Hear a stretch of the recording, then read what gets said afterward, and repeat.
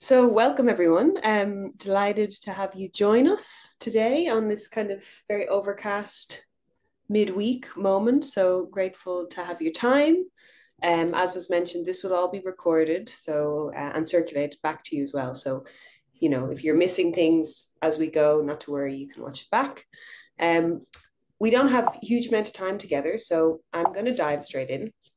And just to give you an overview of, of what we're going to cover in this info webinar, we'll do a quick round of intros. I'll introduce myself so you know who you're talking to. Um, set the scene a little bit in terms of, you know, what what requires this master's at this moment in time? What is the urgency for change within the textiles and fashion industry, which is obviously the sector that the master's uh, focuses on? I'll then give you a little bit more insight into the program itself in terms of who it's been designed for, um, what are the kind of component parts and modules and content that you'll be exposed to, um, and the practicalities in terms of part-time, full-time, hybrid, where, when, all of that stuff. Then we'll go through the application requirements, um, just reiterating what you would have seen online, but hopefully clarifying uh, some of that as well. And I'll also reflect briefly on you know what this master's sets you up for in terms of career opportunities. Obviously this is a very cutting edge space.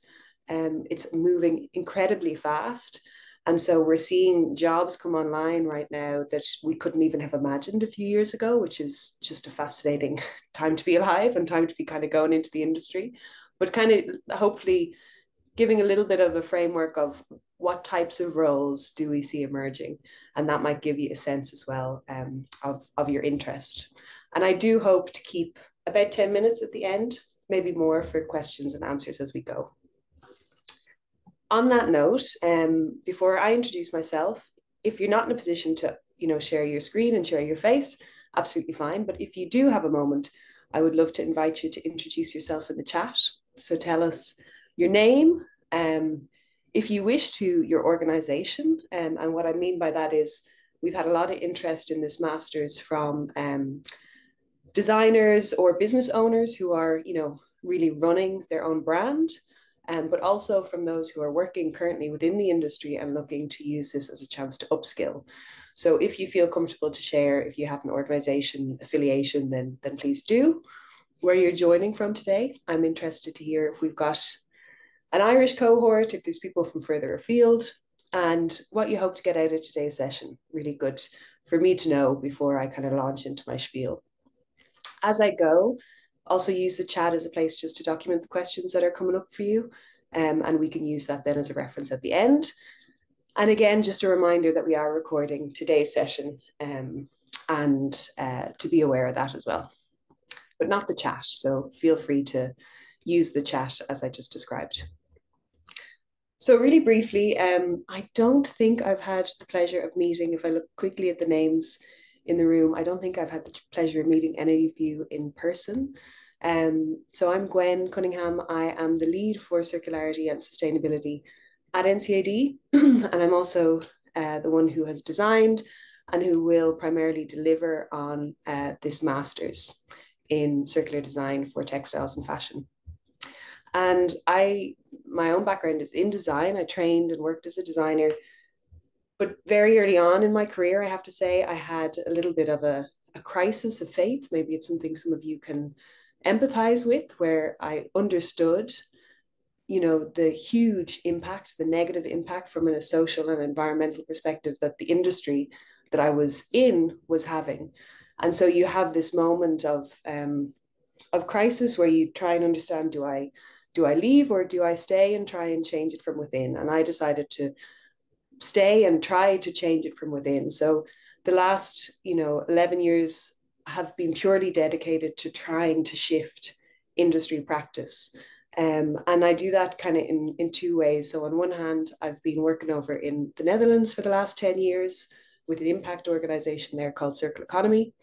And we really work with industry. Um, so, all across the supply chain, whether it's manufacturers, brands, you know, um, innovators in the space of rental, resale, recycling, collectors, sorters, waste management organizations, working with these groups to help them change their practice and also collaborate to create kind of the systems change that's needed. Um, so oftentimes that's either looking at how do you prevent textile waste from being generated through circular design principles, through things like circular business models, or how do you reduce the amount of textile waste being generated through things like repair, upcycling, recycling at scale, and all of the kind of technology and uh, infrastructure development that has to happen to enable those systems to actually function uh, at scale and well. So that's been really on the ground work with industry. And then I suppose my heart's always been in education because I didn't have any kind of training when I was going through um, third level education on the topic of sustainability and circularity. And I felt and I feel so strongly that it's such a critical component of what it means to be a designer. Um, and so I've always tried to take the work that I've been doing in industry and re-embed it back into education. And that's why it has been such a pleasure to build uh, this program and uh, really looking forward now to finally launching it and getting people in the room uh, to run it from September next year. So that's a brief intro to myself the urgency for change, I suppose, is of course very linked to that. You know, we live, and this is not just textiles, we live in what we would call a linear world, whereby we take resources, we make stuff which we sell, we use for increasingly short amounts of time. And by and large, much of what we use and produce gets wasted. And when I say it's not just textiles, you know, if you really zoom out and you take a bird's eye perspective of our globe, of our world, you would see something like this. This is a, a visualization, quite a complex visualization by that impact organization I mentioned, Circular Economy, over in the Netherlands. And what they did was they tried to take an x ray of our world in terms of what are the materials that we extract every year. Minerals, you see these on the left hand side, minerals, ores, fossil fuels, biomass. How do those materials get uh, manipulated and transformed through processing into products and services that then deliver on our societal needs. So, housing, communication, mobility, healthcare, consumables, that's where textiles would live, nutrition. And then this tiny kind of almost indistinguishable gray line at the very end of this complex graphic is how much of those materials are then captured post use and recycled back into the system as a secondary resource. And what you see from this graphic is that that tiny gray line is only 7.2%. So we're, we're only capturing 7.2% of our total material extraction and reintegrating it back into the system. So you could say that we are 7.2% circular. So that's kind of the current state of play when you look at a, a global picture. And of course, textiles is, and for a long time has been, and it's not something we should be proud of, kind of the poster child of this linear way of working. Um, taking vast amounts of resources to produce fiber, um, to make huge volumes of product. We know that we reached a very terrifying kind of threshold a few years ago. We now have over 100 billion new items of clothing being produced every year. Um, we have what 11, 11 thereabouts billion people on the planet, but 100 billion new items of clothing. Using that clothing for, for less and less time. Um, we know, for instance, that in just a 15 year period, we started using our clothing for half as long as we used to. And a lot of research specifically pointing at fast fashion and saying that over half of fast fashion um, that's produced within a year is disposed of within that same year. And then waste, that really complex, messy, fascinating part of the value chain where we let go of something, what happens to it? That opens up an entirely different end of use value chain. Um, and about 73% on a global scale of all textiles and clothing is being landfilled or incinerated at the moment, which is just such a massive waste of this precious resource um, that does take so much water, energy, chemicals, etc., etc., to produce, and then uh, ends up being wasted. So that system is in this hyper acceleration mode. Um, And it's really, you know, it's gotten out of control.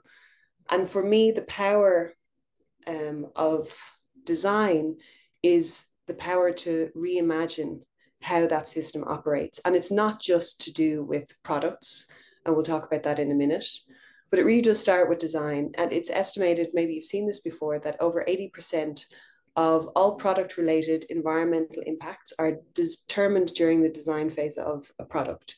So that means, you know, when you're at that stage and you're making what might seem like quite simple decisions about color, fabric, cut, um, level of embellishment, um, where it's going to be produced, um, how, how quickly, how much, all of these things are locking in environmental impacts.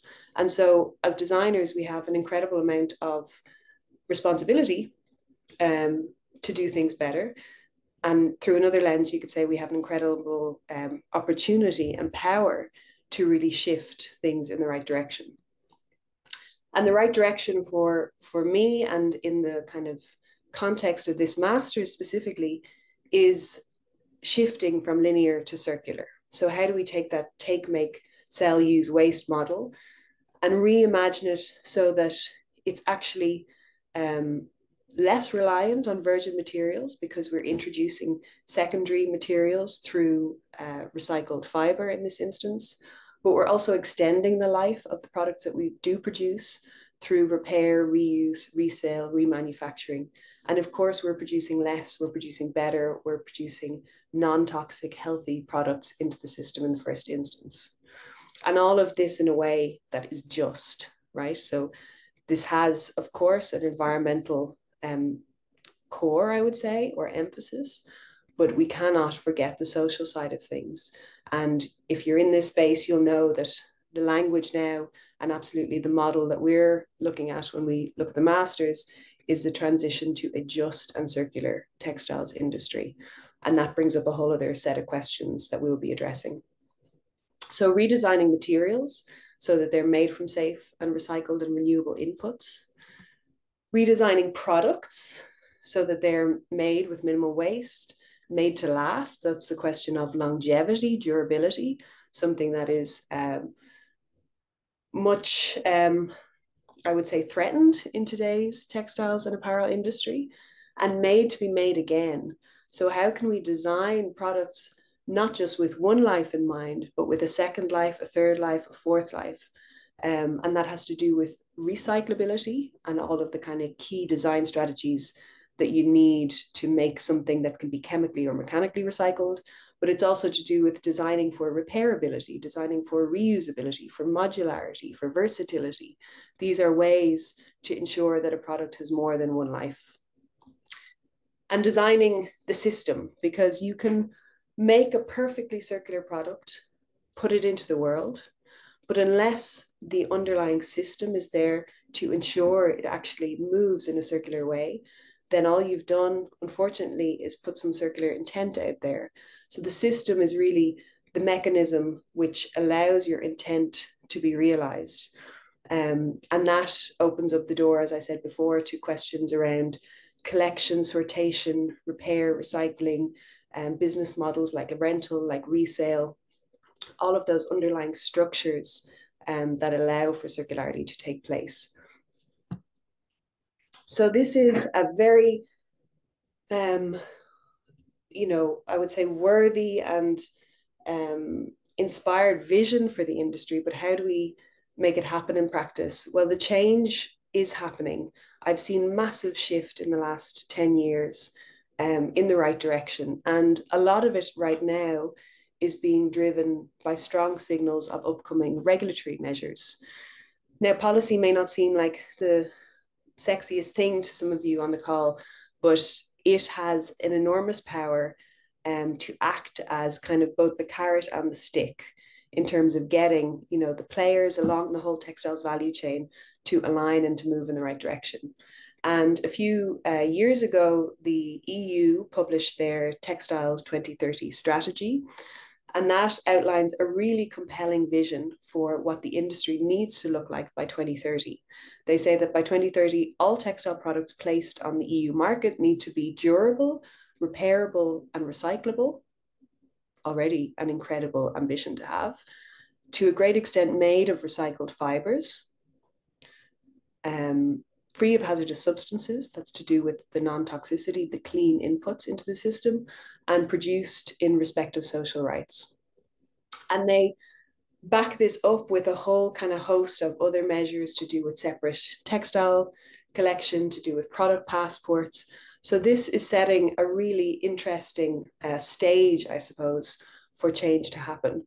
They also announced um, a mandatory EU-wide extended producer responsibility um, measure, which would essentially demand that all people who are putting product on the market, so that's brands and retailers, take responsibility for the product beyond the point of sale so that they actually ha- have to play an active role or um, fund another third party player to play an active role in ensuring that the product does get collected, repaired, reused, recycled at its highest value once it reaches its end of life. And that those measures will also encourage those same brands and retailers to design better and design for circularity. So, this is really interesting stuff that will also give rise, from your perspective, to a whole flurry of activity um, at a brand and retailer level, a whole flurry of jobs opening up in this space, and just kind of set set sail in the right direction.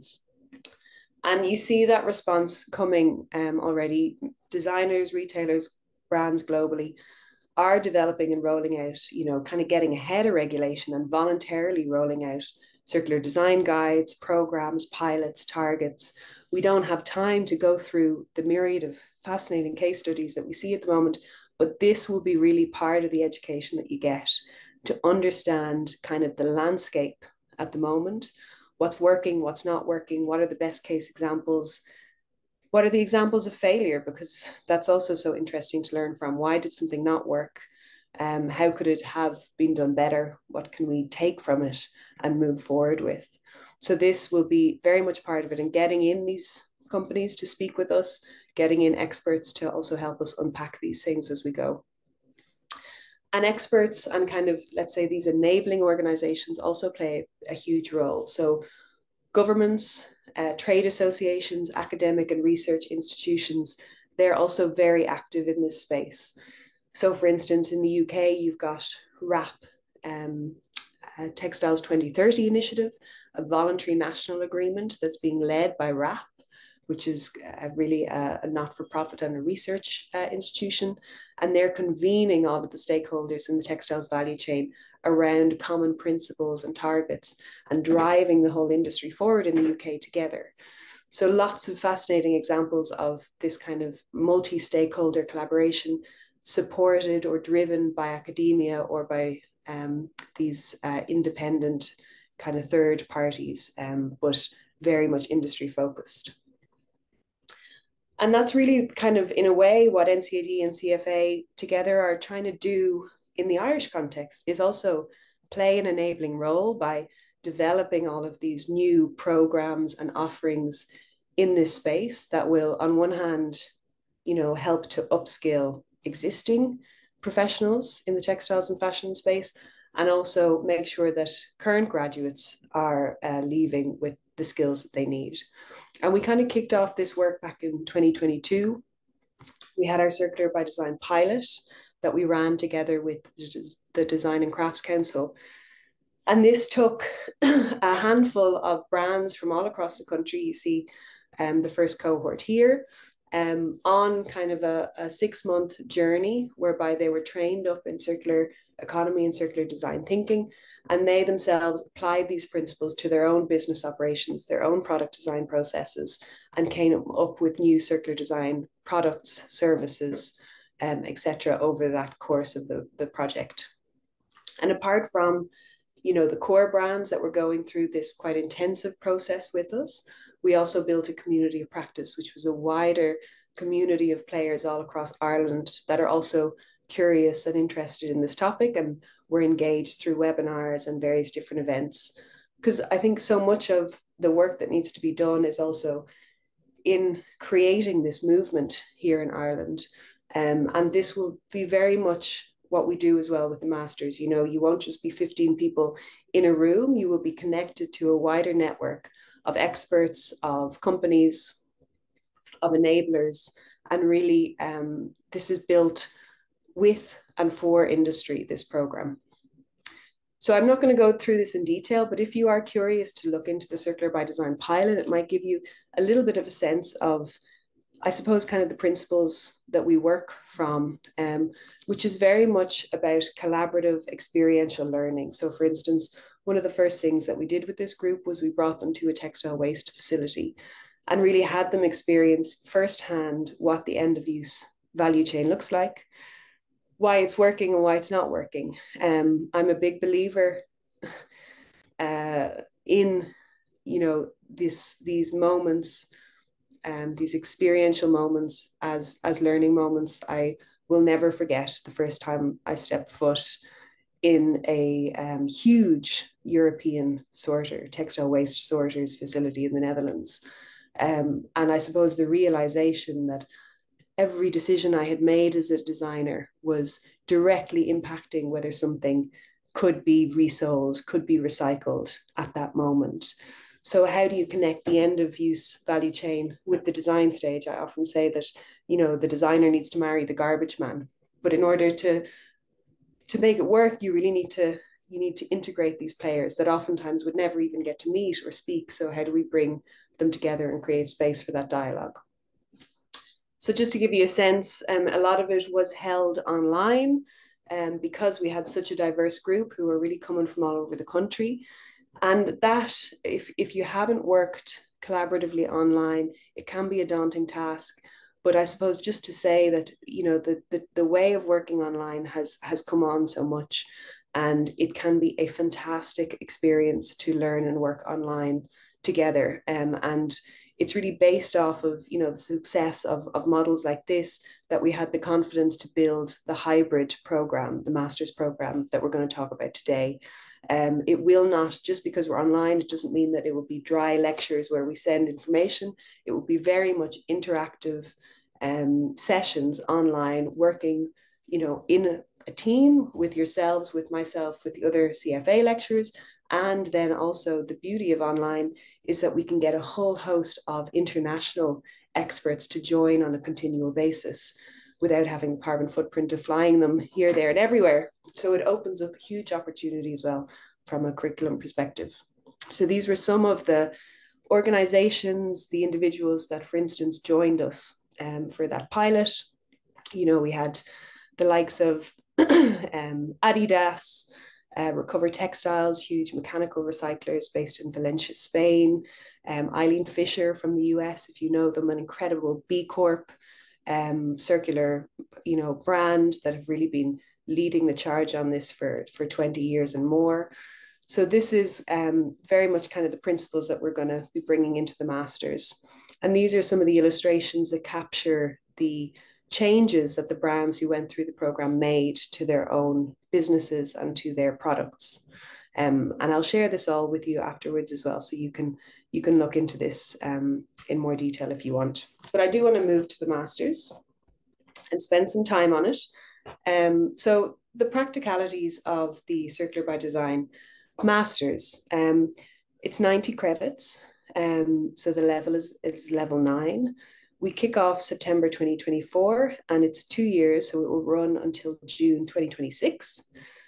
The group size is a really lovely size, if you ask me. We've got 15 uh, places, um, and that's you know big enough to have great diversity, small enough to still have a lot of contact time, and I suppose the, the intimacy of a learning experience that I think will really benefit you as an individual rather than huge, huge class sizes the format, as I mentioned, is hybrid um, and really combining lectures, seminars um, with more interactive masterclasses, workshops, group presentations, and tutorials. So it's really a mixed learning uh, method.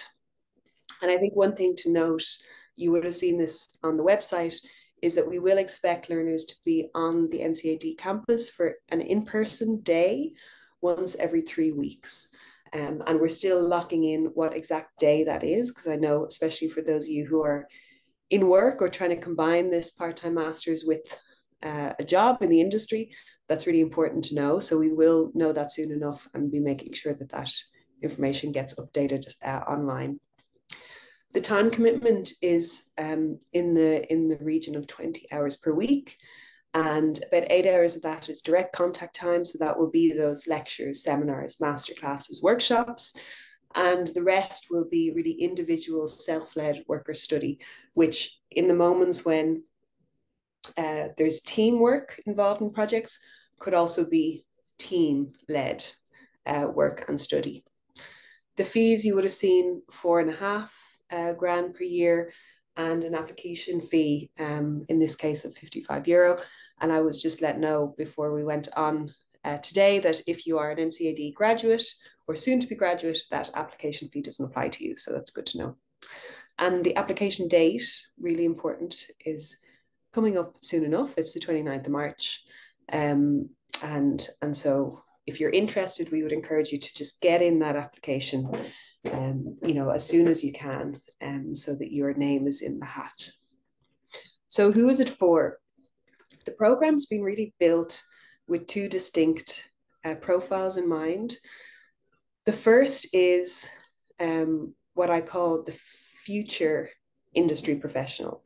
So this would be recent textile or fashion graduates, you know, who are at the start of their career um, and looking to really specialize their professional career and practice around sustainability, um, develop a strong portfolio of sustainability related work.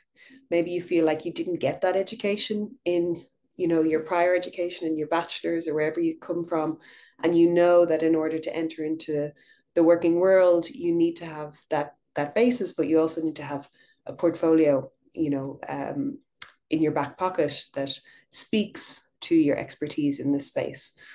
Um, and who is also looking to generate a network of industry contacts that are relevant in the field.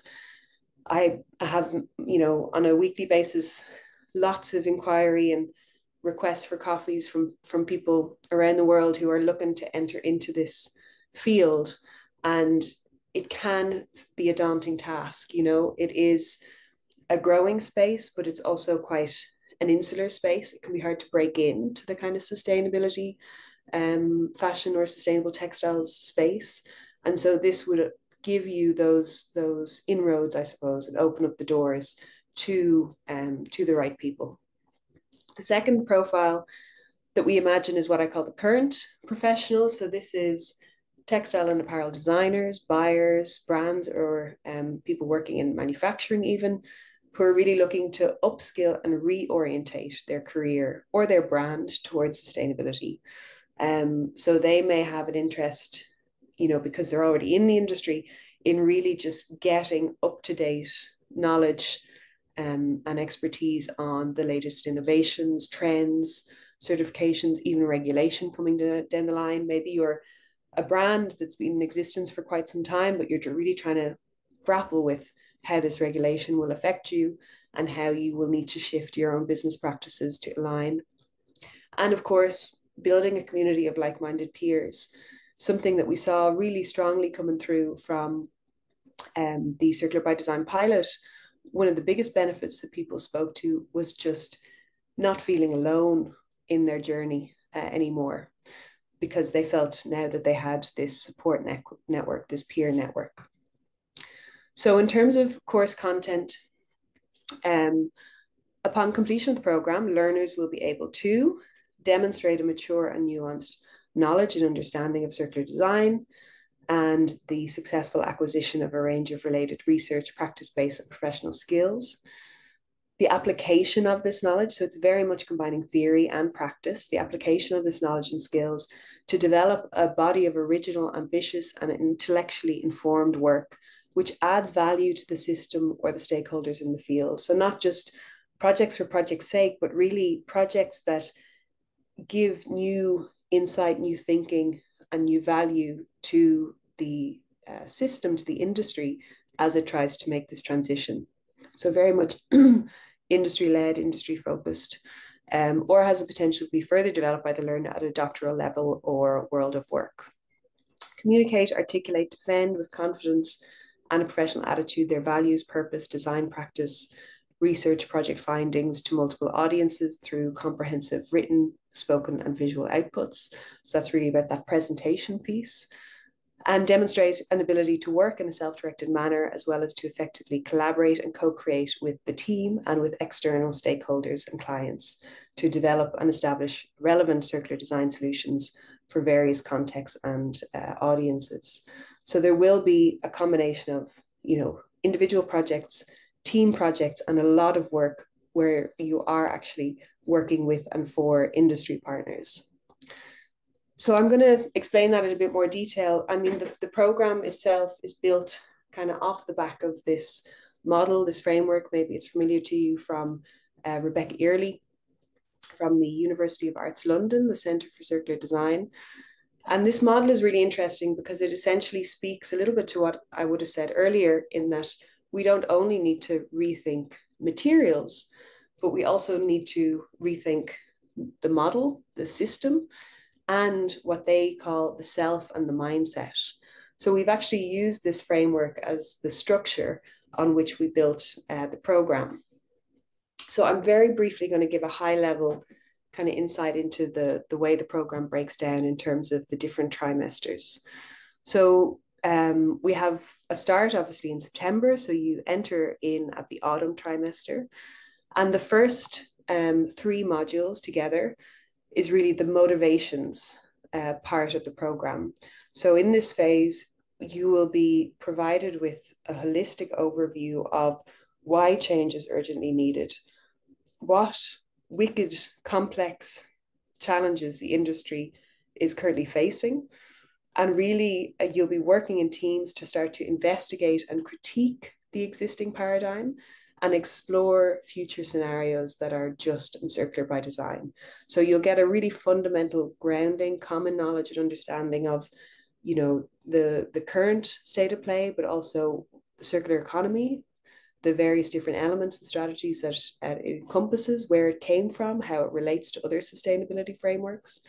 Um, and then you'll also be working with the tools of speculative design to imagine what the industry could and should look like. So that's the first trimester. The second trimester then dives deep into the world of material and product. So you will be getting a broad and deep understanding of current and emergent thinking, innovation, trends and technologies related to circular materials and circular product design.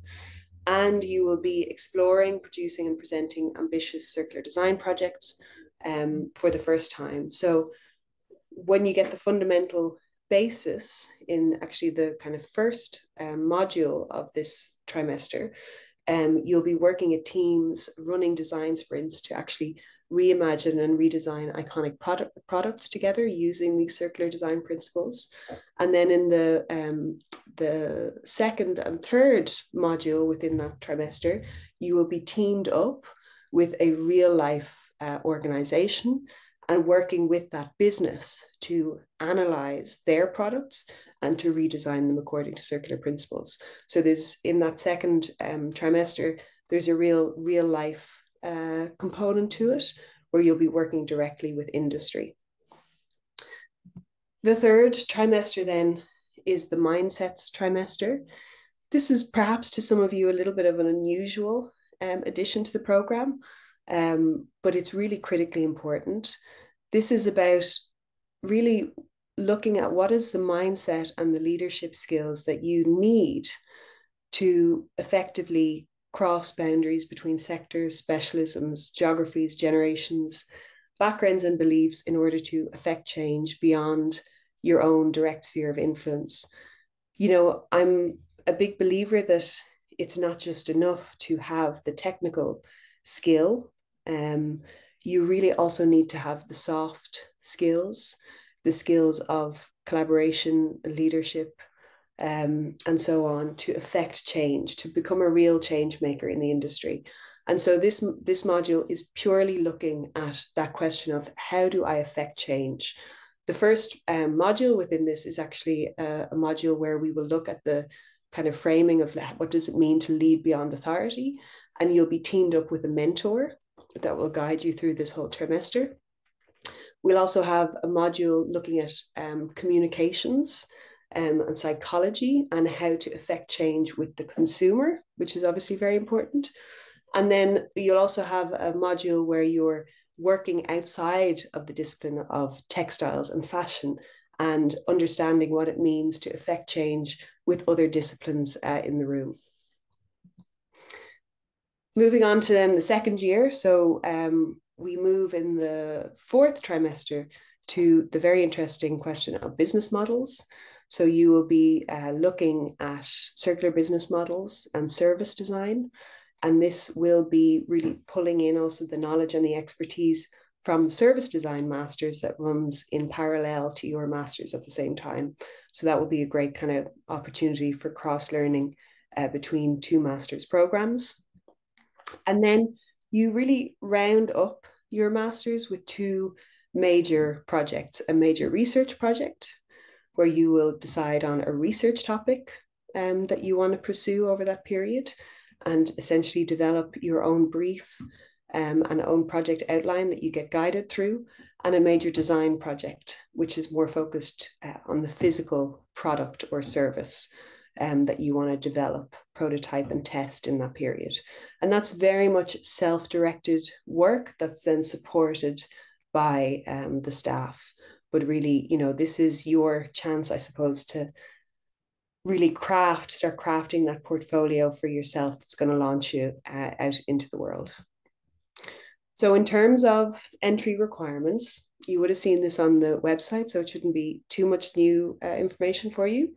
All applicants are expected to present an approved bachelor degree at minimum um, 2 2. Um, if you don't have that, you may be considered on the basis of prior work or learning experience. Um, so that's good to know. Uh, and also, you can apply for the program if you're still studying at the moment or still completing your undergraduate degree. Um, you know, we could offer a conditional offer at this stage. And when your degree is completed uh, to the appropriate level, you'd send us your final transcripts and then you would get a full offer. Um, depending on the level of interest and how oversubscribed we are, there might be an interview process that will be determined uh, at a later stage. And apart from that, let's say, basic uh, entry level requirement, there's also some supporting documents that you'll provide uh, us with. So a statement of interest, 500 to 1,500 words, framing your reason, your rationale, essentially your motivation for applying to the program.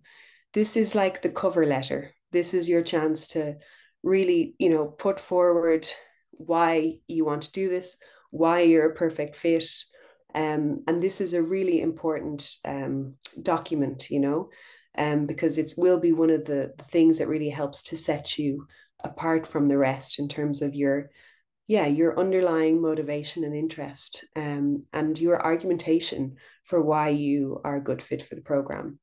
That's supported by a recent cv you know again the tendency might be you have a cv just send it on but really look at your cv through the lens of this program and framing your experience and your expertise according to the skills and knowledge um, that we're looking for. Um, that's always a good idea.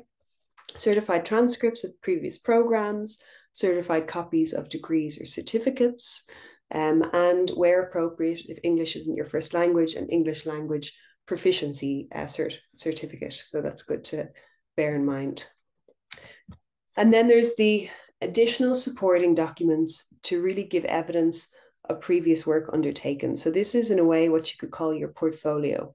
But when we say portfolio, we're very open to it being a visual portfolio that shows a body of, for instance, design work that's relevant, or it could be um, written portfolio of work. So it could be documentation of a project that you were involved in that could be more technical or theoretical in nature. Um, it could be a case study um, that you've completed.